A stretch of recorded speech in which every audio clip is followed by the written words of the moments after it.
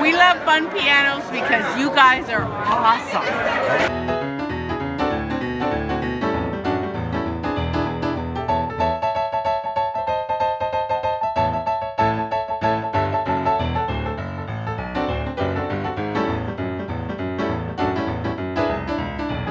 We love fun pianos because Everybody had a blast. and everyone's involved. Yes. So much fun.